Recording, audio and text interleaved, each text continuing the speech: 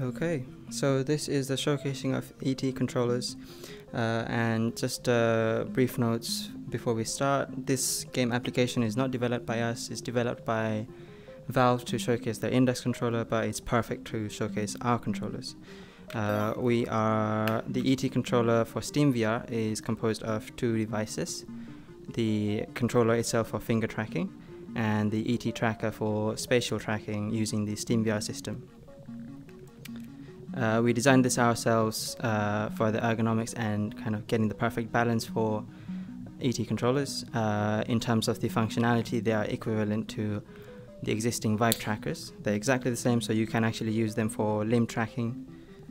Uh, and yes, so these are the controllers.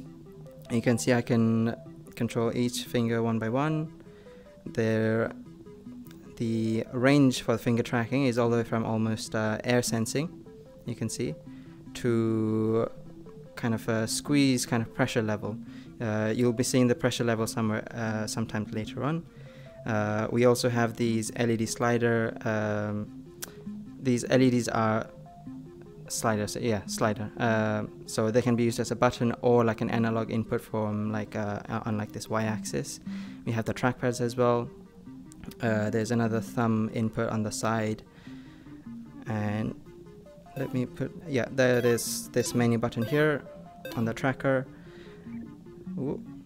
And if I show you this squeegee ball you can see like the analog range that, uh, that you can have with our controllers. I can throw grab.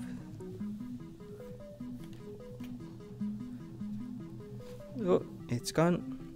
I can grab a grenade activate it with like a thumb press throw it same with the other hand. I can grab this gun.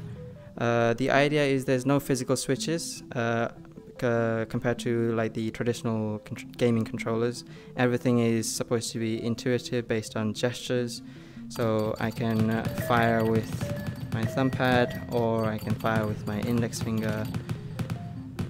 Same with my left hand. Can interact with game objects. There's actually haptic feedback. You obviously won't be able to see it, but there is haptic feedback. So let me go to a different environment. This is going to show you more of the uh, pressure sensing. I can grab an object, I can bring it over here, and I can crush it. So uh, this is actually from the game side. As you squeeze harder, the hand vibrates more, and you can see the change in color of the rock as well to show how much pressure you're applying. And then eventually, you can crush it. So there's a bar that fills up as I crush more rocks. I can grab this tiny man, I can throw it away, sorry. Grab more rocks.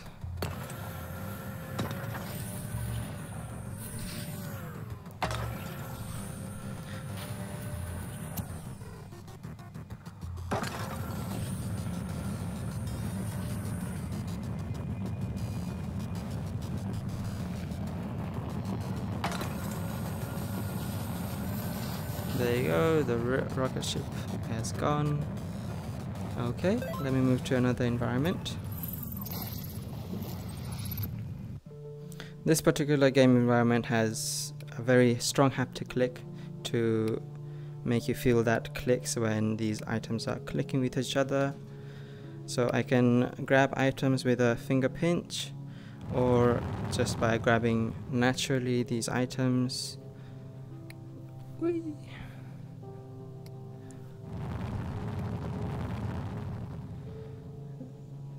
Yeah, as you can see with the base station there and there, it's not the best tracking environment, but more hopefully intuitive controls.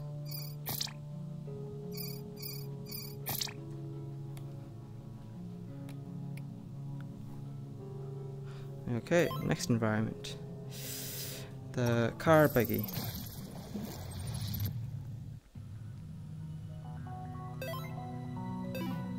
Okay, so that's another gesture, point to teleport.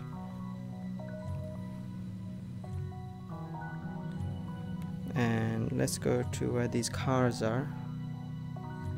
So I can grab this controller, uh, my index finger to accelerate. Uh, it's an analog feedback, so the the more pressure I apply, it's gonna go faster. And I'm using my trackpad to steer it around.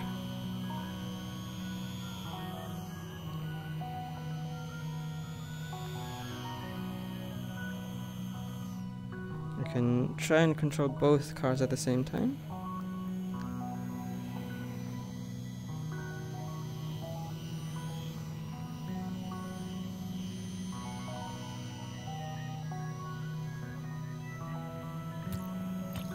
Oops, sorry little man.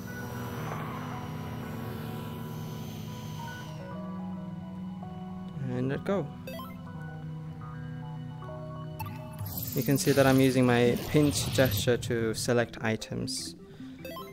So, pinch gesture to select items, everything gesture based, but yeah, more squidgy. Yep.